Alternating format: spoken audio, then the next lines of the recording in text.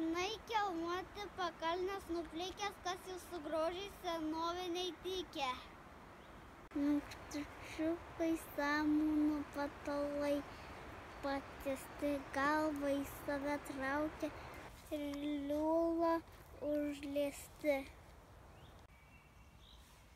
E pušelės, pušelės tos, kurios nesurukuotos ir tankios. Jauti iš juodo kapčiaus krusdelino kvapą.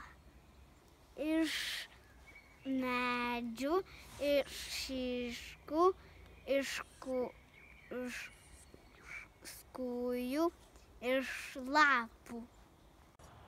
Kas ten šlama į vėjų papustas lapelis. Egi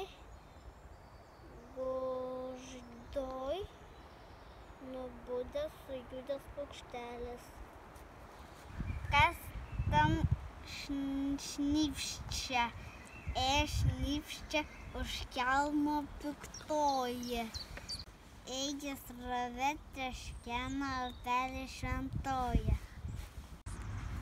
Nešęs velnės akmenį, didumą kaip gryčią ir sudaužyti norėjęs anikščių bažnyčią.